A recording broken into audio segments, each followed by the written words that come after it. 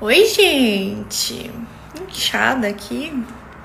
Oi, domingo! Domingo tá lindo aqui. Gente, eu só tô dormindo. Eu tô aproveitando esse tempo só pra dormir. Só pra dormir. Aqui, ó. O tamanho.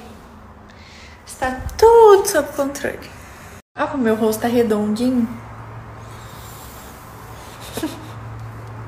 Tô atualizando vocês dos sintomas. Tem sintoma não. Tem sono. Só sono. Então eu tô aproveitando esse tempo para dormir, para descansar.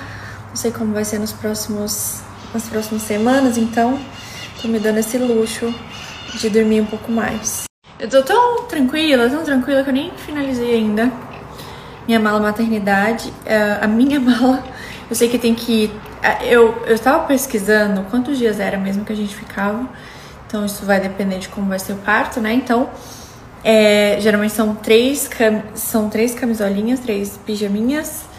É, tem que ter uma roupa para sair, tem que ter um chinelinho, uma meia e o kit de higiene pessoal, absorvente, é, absorvente, várias coisas.